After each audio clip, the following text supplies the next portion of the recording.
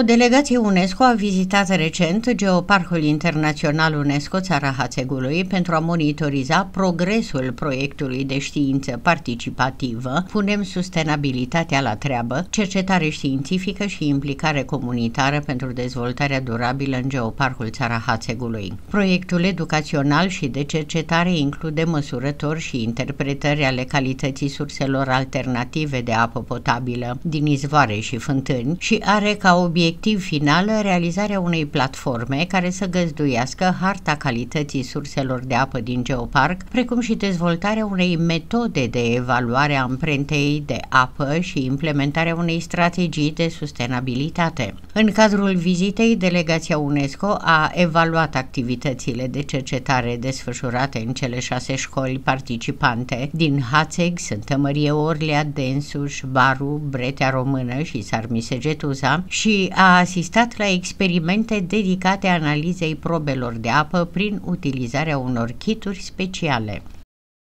Dar haideți să vorbim două vorbe la început despre apă între necesitate și amenințare. Aveți telefoane? Încercăm o chestiune drăguță? Aveți telefoane? Da. Haideți intrați pe www.menti.com www.menti.com Vă arată colega mea acum. Zero. Tot zero.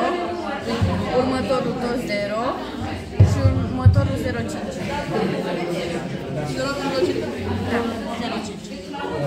Carmen, cred că misiunea noastră va fi foarte ușoară aici, pentru că sunt copii care știu foarte multe.